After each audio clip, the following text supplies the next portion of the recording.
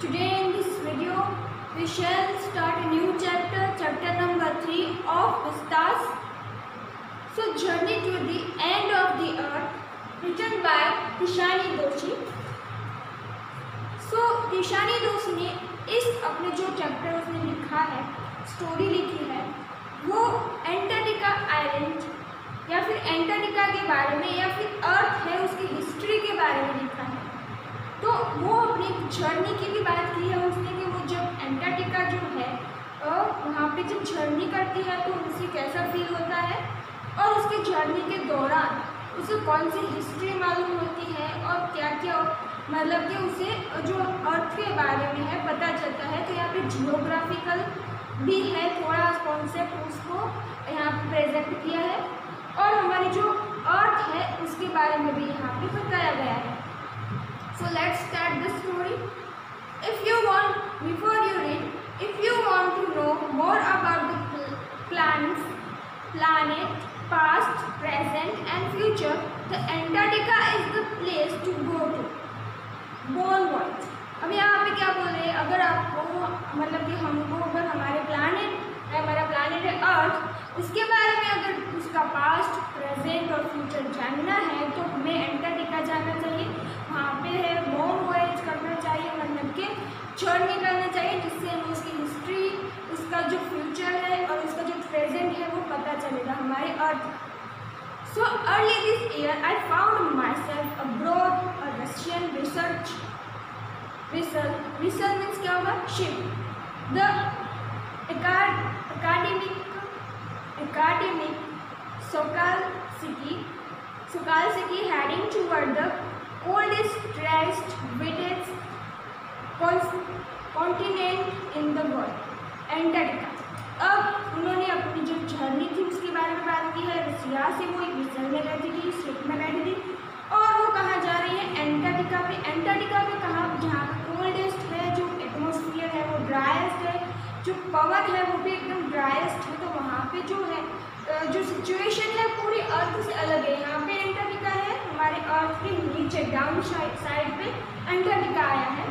जहाँ से जो है, हमारे अर्थ की जो पूरी जो कॉन्टिनेंट है, बाकी सारे एशिया है ऑस्ट्रेलिया है अफ्रीका है साउथ अफ्रीका है, या फिर इंडिया के जो एशिया जो सारे देश हैं, या फिर कॉन्टिनेंट है, वो कैसे अलग हुए और उनके कैसे बीच में उनकी जगह बनी, वो यहाँ से शुरू हो। जाए my journey thirteen point zero nine degrees north of equator in the Madras and involved crossing nine time zone, six checkpoints, three bodies of water, and at least as many ecosphere. अब यहाँ पे लोग क्या बात कर रहे हैं उनके जर्नी के दौरान कौन सी डिग्री में मतलब उन्होंने स्टार्ट किया था thirty point zero nine degree के अकॉर्डिंग वो अपनी जो है जर्नी उन्होंने स्टार्ट की थी उस डायरेक्शन में और उन्होंने इस जर्नी के दौरान उन्होंने कौन कौन से मतलब बहुत नाइन टाइम जोन यानी कि सब अलग अलग कंट्रीज़ के अलग अलग कॉन्टिनेंट के अलग अलग टाइम जोन्स होते हैं। तो उन्होंने नाइन टाइम जोन से उन्होंने पार किया है और सिक्स चेक पॉइंट्स को पार किया है। वाटर और बॉडी मीन्स के जो अ, या फिर बहुत से रिवर्स होंगे या फिर कोई भी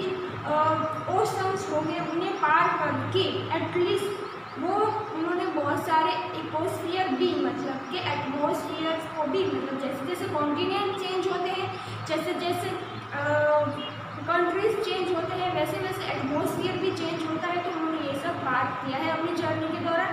बाय द टाइम और I actually set foot on the enter Antarctic continent I had been traveled over 100 hours in a combination of a car and or aeroplane and a ship. So many, so my first emotion on facing Antarctica's expansive white landscape and un, uninterpreted blue horizon was relief. अब यहाँ पे वो क्या बोल रही है उन्होंने hundred hours तक हंड्रेड आवर्स तक उन्होंने जो है कार में प्लेन में शिप में ऐसे अलग अलग ट्रैवल किया था। और जब वो, जब उन्होंने फर्स्टली एंटार्क्टिका में अपना पैर रखा मतलब वहाँ पे जब पहुँची, तब उनका फ़र्स्ट इमोशन क्या था? उन्होंने अलग ही रिलीफ फीलिंग फील किया था। वाइज जो लैंडस्केप था मतलब वहाँ पे जो पीसफुलनेस थी, एक तरह की सैनिटरी थी सेकेंड जो वहाँ पे एक तरह का एटमोसफियर था क्लीन एंड पीसफुल उसकी वजह से उन्हें रिलीफ फील हुआ। Follow up with an immediate end product profound wonder wonder at its immensity its isolation but mainly at how there could even have been a time when India and Antarctica were part of the same land mass अब यहाँ पे वो क्या कह रही हैं वो कह रहे हैं बहुत ही अच्छी मतलब ये वंडर वाली फीलिंग हुई थी जब उन्होंने ये लैंडस्केप को देखा और उन्हें वंडर क्या लगा कि एक टाइम पे ये सारे कॉन्टिनेंट हैं हमारा इंडिया यहाँ पे है इस कॉन्टिनेंट में एशियन कॉन्टिनेंट में तो ये जो सारे कॉन्टिनेंट हैं ये जो अलग अलग हो गए सबसे पहले वो सब साथ में ही थे एंटार्क्टिका से जुड़े हुए थे और धीरे धीरे ये यहाँ पे सब अलग हो गए अलग अलग एटमोसफियर की वजह से अलग की वजह से और अलग अलग जो भी अर्थ पे टाइम टू टाइम सब चेंज हुआ तो सब कुछ अलग हो गया था। तो यहाँ पे कॉन्टिनेंट भी अलग हो गए थे। तो हमारा जो इंडिया था, वो भी पहले एंटार्टिका का पार्ट था, फिर अलग हो गई तो एशिया में जुड़ गया। पार्ट ऑफ़ हिस्ट्री तो अब इसकी हिस्ट्री क्या है? एंटार्टिका की और हमारी अर्थ की। तो चलो देखते हैं। 650 million years ago means six five crore मतलब sixty five hundred crore ago अब giant Emil amalgamation southern super super continent Gondwana Gondwana क्या है? एक कॉन्टिनेंट है पूरा। मतलब ये सारे कॉन्टिनेंट मिलके एक कॉन्टिनेंट बना रहे थे। पहले अलग अलग कॉन्टिनेंट नहीं थे, एक ही कॉन्टिनेंट था पूरे अर्थ में। उसका नाम था गोंदावाला डिड इन अब ये कब की बात है? 650 मिलियन ईयर अबो की बात। इन डिड एग्जिस्ट सेंट्रेड रफली around the present day Antarctica अब प्रेजेंट डे से बिल्कुल ही अलग था तभी और एकदम ही उसकी सिचुएशन भी अलग थी। Things were quite different then जो सारी चीज़ें थी वो एकदम ही अलग थी बिल्कुल ही अलग थी प्रेजेंट टाइम से। Humans had not arrived on the global scene and the climate was much warmer, hosting and huge variety of flora and fauna. अब यहाँ पे क्या बात की है कि ह्यूमंस के आने से पहले की बात है, जब अर्थ पे ह्यूमंस नहीं थे तो कहाँ, वो क्या था वहाँ पे बहुत ज़्यादा वार्म था, जो ये एटमोसफियर है, जो हमारी पृथ्वी का, वो वार्म था हॉस्टिक था यूज़ था और वहाँ पे बहुत सारे फ्लोरा यानी कि फ्लोरा और फोना मीन्स एनिमल्स थे, बहुत सारे बहुत सारे birds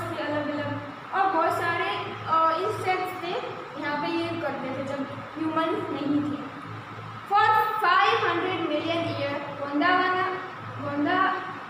Gondwana tri tribe around the time when the dinosaurs were wiped out and the age of mammals got underway. The landmass was forced to a separated into continents, shaping a globe much as we know it today.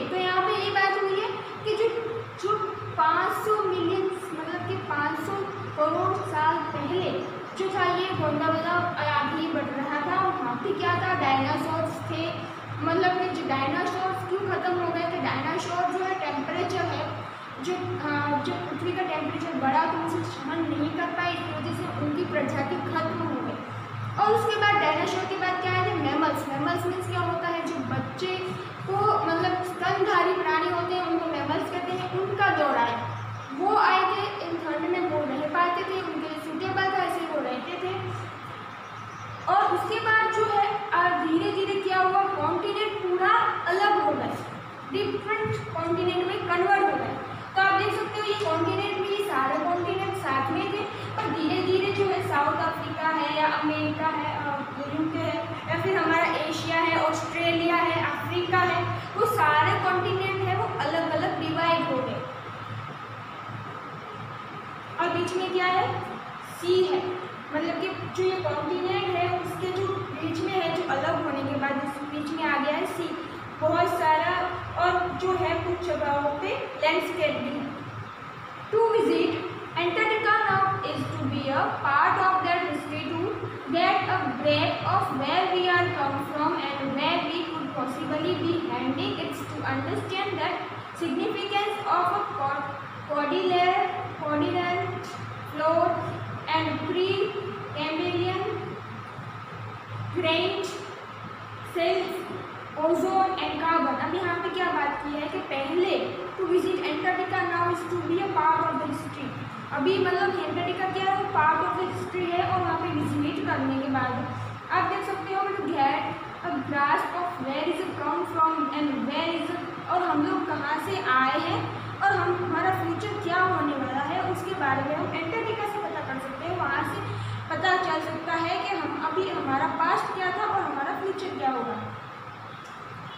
It is to understand the significance of cordyceps and floats and the pre-Cambrian granitic slides अब यहाँ पे granite क्या है? मतलब कि जो pre कॉम्बिनियन कॉम्बिनियन था मतलब कि बहुत साल पहले, उन्हें वहाँ से क्या मिलता था? एंटार्क्टिका से बहुत सारे ग्रेनाइट स्लाइड्स मिलते थे। ग्रेनाइट एक जो है खनिज है, वहाँ से बहुत ज़्यादा मिलता था और वहाँ पे ओजोन कार्बन वो भी बहुत सारा था। इवोल्यूशन एंड एक्सटीनेशन अब वहाँ पे क्या हुआ? अचानक से इवोल्यूशन में बहुत सारे। मतलब कि वहाँ पे जो है डिफरेंट टाइप्स के जो जैसे जैसे ह्यूमंस आए तो वहाँ पे अलग अलग तरह के इवोल्यूशन होते गए तो वहाँ पे जैसे है, अलग ही तरह का माहौल, और एटमोसफियर चेंज होने लगा When you think about all that can happen in a million years, it can get a pretty mind boggling boggling. Imagine अब आप इमेजिन भी कर सकते हो कि मतलब कि पहले कैसा था क्या हैपन हुआ था और अभी भी। माइंड ब्लोइंग एंड इमेजिनेशन हम इमेजिन भी कर सकते हैं कि जो पहले की पृथ्वी वो जो उसका जो पूरा पार्ट था वो किस तरह का था और अभी प्रेजेंट में कैसा है। India pushing the north India कहाँ चला गया नॉर्थ में jumping against Asia to a buckle its crust and from the Himalaya. South America अब जो यहाँ पे बक्कल क्या होता है, मुड़ जाना। तो वहाँ पे जो जो ये एशिया का जो है पार्ट था, वो मुड़ गया। उसकी वजह से क्या हुआ? जो इंडिया था, वो नॉर्थ में चला गया और जो पार्ट मुड़ गया था, वो क्या बन गया? हिमालय बन गया। मतलब जो हिमालय है, वो उसका ही पार्ट है, जहाँ पे बर्फ़ ज़्यादा रहती है या फिर ठंडा एटमोसफियर है। South Africa, America drifting over the joint the North America, opening up the dark passage to create the cold circumpolar current, keeping Antarctica free, frigid, desolate, and at the bottom of the world. वो तो bottom में ही है नीचे Antarctica पर जो सारे प्राकृतिक के जो कॉन्टिनेंट थे वो अलग अलग जैसे होगा उनका नाम दे दिया साउथ अफ्रीका है या फिर नॉर्थ अमेरिका है वो सारे अलग अलग हो गए तो उस तरह से उनका कॉन्टिनेंट का अलग अलग जो है सेपरेट हो गए। और जो ड्रीप पैसेज हैं, वो वहाँ पे अलग अलग कूल एटमोसफियर जो है अलग अलग तरह से उनका चेंज हो गया है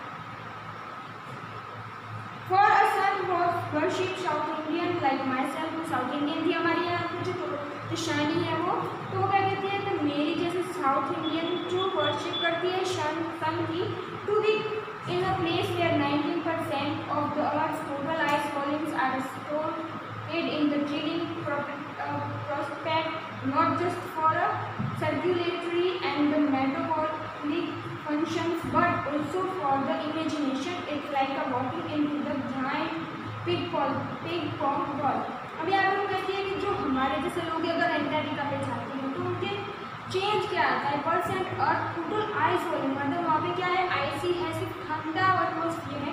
तो जो वहाँ पे जाते हैं, वहाँ पे सर्कमटेंसेस ऐसे हैं कि आपकी नहीं, सिर्फ़ बॉडी में चेंज आता है, पर आपकी जो मेंटली है इमेजिनेशन है, उन सब में भी चेंज आ सकता है, आपकी सोच में भी चेंज आ सकता है। तो वो जहाँ पे हम ऐसे, हमें ऐसा लगता है कि हम बिग चाइल्ड पिग हॉल पे हम जो है चल रहे हैं divided to any human market new trees billboards buildings you lost the earthly sense of perspective time here. The visual sense ranges for the microscope to the mighty mites and mites to blue whales and ice icebergs. As big countries the largest record was the size of the belgium.